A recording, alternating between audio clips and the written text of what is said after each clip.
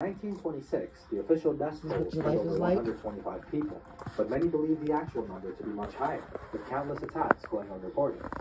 The leopard's seemingly insatiable appetite for That's human what you do? flesh and its Make a mess everywhere? strike with stealth and escape undetected earned it You? legendary status, You. turning the once serene Make that mess. into a landscape of fear and suspense. The leopard's of terror began with its first known victim, Get the resident of. Bainji Village, and this occurred in 1918. Gunga Singh, a hard-working farmer, Can you get your mess up? Bainji, had set out as usual one day to Pick up that field, carrot. expecting it to be like any other day.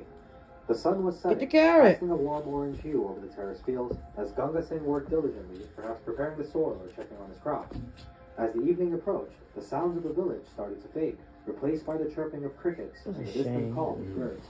Unbeknownst to Gunga, a stealthy Why you gotta do all that in my room? nearby, watching and waiting for the opportune moment to strike. God, this is The next mess. morning, Get a out of chilling here. scene awaited the villagers.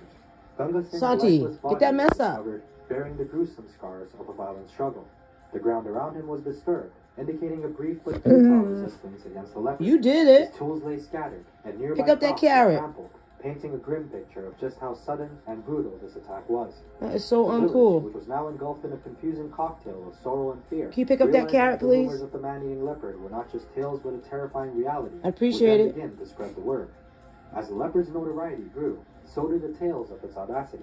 And not, not gonna pick it up? the first incident, a heart-wrenching tragedy would once again unfold, and this time in a neighboring That is village. not okay. Lutta Devi, Mm, a young mm, woman known for her vibrant spirit and kind-hearted nature, Don't turn your had been head. spending a quiet evening You with her did it. family at her home. You made a mess. Their humble abode, Look at that mess. in the village, had That's opened your mess. to let in the cool mountain breeze.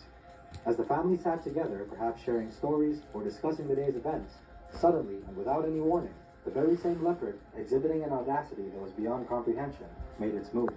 With a swift and powerful leap, it lunged through the